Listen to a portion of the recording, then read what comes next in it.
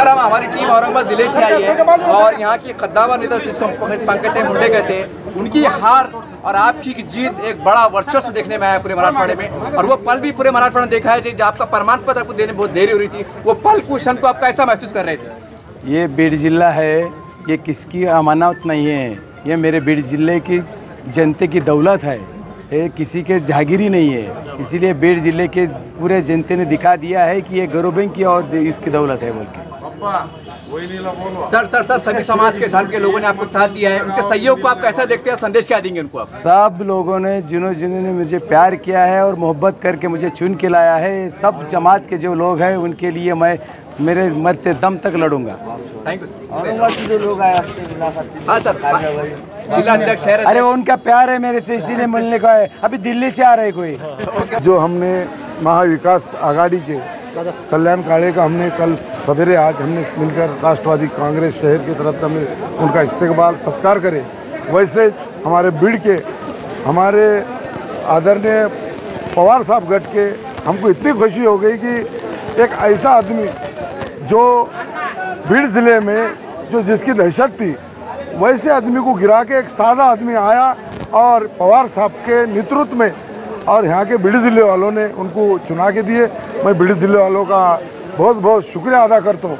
और हम, हमारे शहर की तरफ़ से पूरी महिला और हमारे पैटर्न के हमदार साहब और हमने जो भी हमारे, जो भी रिश्तेदार थे, जो भी हमारे यहाँ पे आके हमने सबने मिलकर काम करे।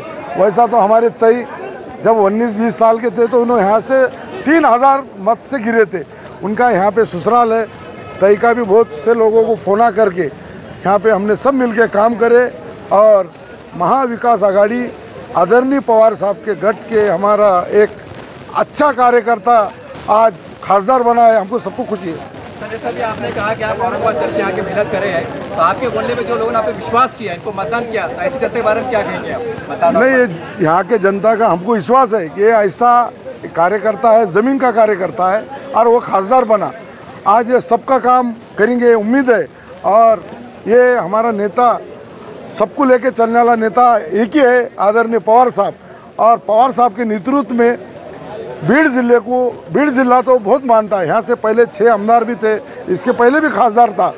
मगर यहाँ पे दूसरी जो दहशत थी, इतने बड़े बड़े लोगों की, वो आज उनको ख़त्म करके, ये जो आज चुन के आए, और लोगों ने चुन के दिया मैं उनका सबका शुक्रिया अदा करता हूँ।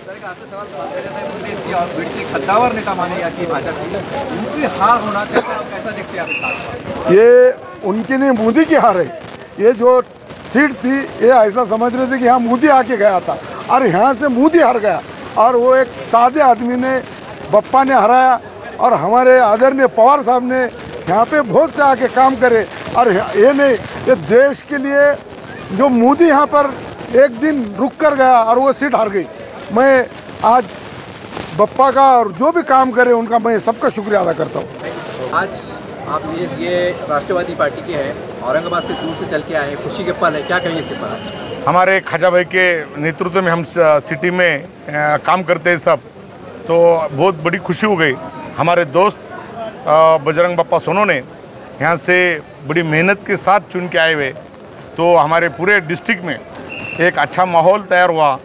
हमने भी हमारे पैठन के बाजू में जो इनके मत बीड़ मतदार संघ में की जितना हो सके उतने काम हमने किया है। और अब बजरंग बप्पा आज खासदार बन गए तो ये बड़ी खुशी की बात हो गई।